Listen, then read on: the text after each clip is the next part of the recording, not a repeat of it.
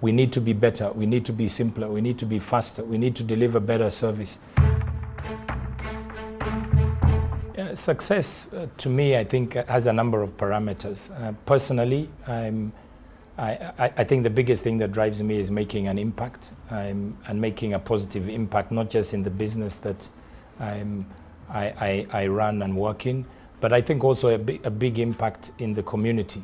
And I think we can make that impact on a day-to-day basis by making a difference in people's lives. Um, so that's one aspect. I think the other aspect of success is just achieving those targets and goals, life goals um, that you know that you set out for yourself. And for me, um, I've got several. So and I look at them as a sphere in different aspects of your life. I think many people, when they think about success, they think only about financial success and financial goals. But I think there are many life goals. You know, health your health, your family, um, your career, um, your, your friendships. Those are all aspects um, of success. So I try to see how I can blend them um, and just keep working at um, moving. And the thing about the goals is they always keep changing.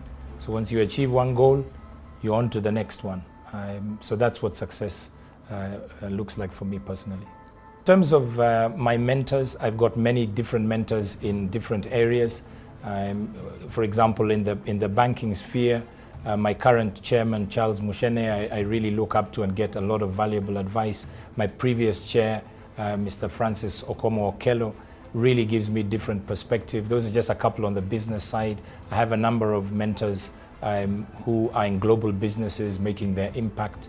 Uh, and then I also think it's good to have mentors from uh, who cover you in different areas, you, you know, your personal health, um, your, the way you manage your relationships. So I have a number of mentors that, um, that I try and bring to get perspective as we navigate this journey called life. What I do to, to constantly challenge myself uh, are a number of things. One, I think, is to try and read as broadly as I can because you get ideas from different sources, you know, and then they challenge you to say, well, if they can do that in that industry or in that sphere, why can't I be thinking about that in my context, in my life?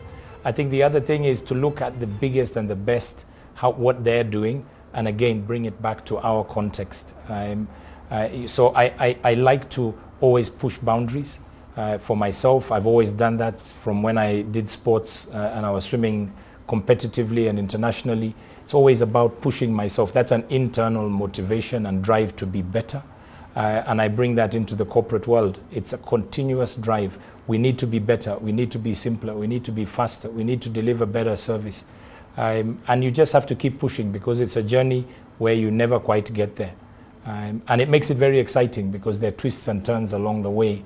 Um, and you have to adjust to those, those terms.